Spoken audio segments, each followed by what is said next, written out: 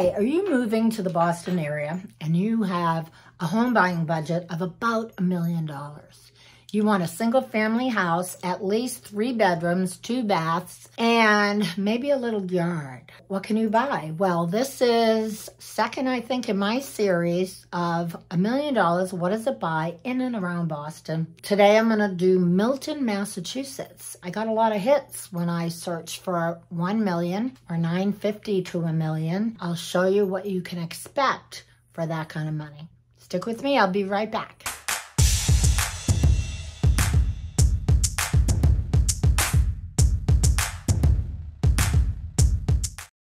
All the homes I'm going to talk about listed or sold for anywhere between 950 and 1 million even. Right now, in the last couple of months, which is December 12th, 2022. So that means in the last mm, 30 to 60 days. And that's when the interest rates went up too. So it'll be interesting to see. The first one I'm going to talk about is Edge Hill Road. It's a four bedroom, two bath, 1790 square feet, sold for $950,000. So if you look at these pictures, you get a feel for what style, how much land, and the condition of renovation. The second one is Lawrence Street. Three beds, three baths, sold for 942. The third one is Church Street. It's a five bedroom, two and a half bath, on the market now for 949 So end of December, I would say you could swoop in and buy this now. Best time to buy a house, Warren Street, a four bed, three bath, sold for 935 And generally, I like to show you the main living area, the yard, and maybe one bedroom.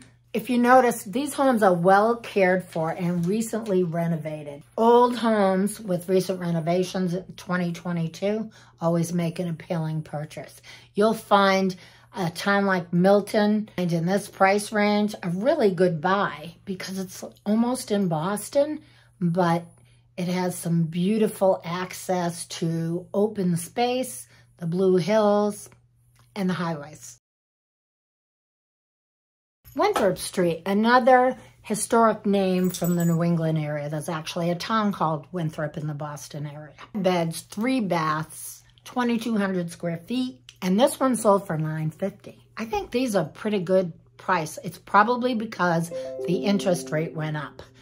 There would have been much more competition. A few of these went a hair over asking, and that's because maybe there was another offer, maybe not. And the offer was made before the interest rates hit seven. Harlan Street, beautiful brick house, nice backyard, three beds, two and a half baths, 950. And lastly, Robbins Street, four bed, two and a half bath, 2,700 square feet. Uh, that's a lot of space for this area. It sold for 990.